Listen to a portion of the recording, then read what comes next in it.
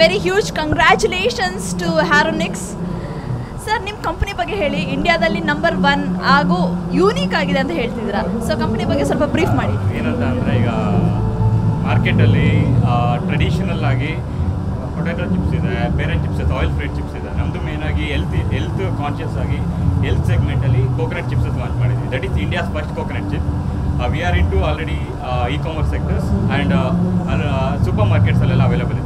And mainly we are distribution and super ಸ್ಟಾಕಿಸ್ಗೆ already pitching in ಮಾಡ್ತಾ ಇದ್ದೀವಿ interested peoples we can contact the Aronic consumer product our factory is located in Hoskote thank you so talking about Haronix so ಈ ಒಂದು idea ನಿಮಗೆ ಯಾವ ಥರ ಬಂತು?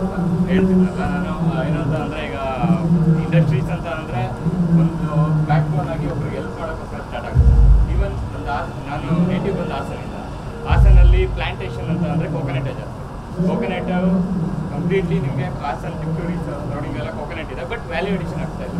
Just ಒಂದು oil ಆಗಿ ಯೂಸ್ ಮಾಡ್ತಾ ಇದ್ದಾರೆ. ಬಟ್ ಸಿಂಗಲ್ ಆಗಿ ಯೂಸ್ ಮಾಡ್ತಿಲ್ಲ ಅದನ್ನ ಗ್ಯಾಪ್ನ ಅರ್ಥ ಮಾಡ್ಕೊಂಡು ಒಂದು ಪ್ರಾಡಕ್ಟ್ ಮಾಡೋಣ ಅಂತ ಹೇಳಿ ಇದು ಎಲ್ ಸಿ ಸೆಗ್ಮೆಂಟಲ್ಲಿ ಈಗ ರೋಸ್ ವೆನಿಲ್ಲ ಓಕೆ ತ್ರೀ ಫ್ಲೇವರ್ಸಲ್ಲಿ ಅವೈಲೇಬಲ್ ಇದೆ.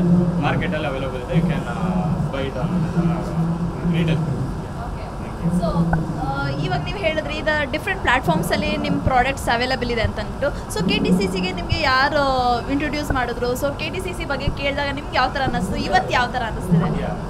ನಹಿಮ್ ಅಂತ ನನ್ನ ಹತ್ರ ಇಂಟ್ರಾಕ್ಟ್ ಮಾಡಿದಾಗ yeah it's a good platform ಅಂತ ಗೊತ್ತಾಯಿತು. Yeah we can participate over ಅಂತ just just we are nominated then ನಮಗೂ ಗೊತ್ತಿಲ್ಲ. ಗೆಟಿಂಗ್ ದ ಅವಾರ್ಡ್ ಅಂತ. And finally we got award India it's fine like the thing is main ಆಗಿ ಸ್ಟಾರ್ಟಪ್ಸ್ಗಳನ್ನ encourage ಮಾಡಬೇಕಾಗುತ್ತೆ.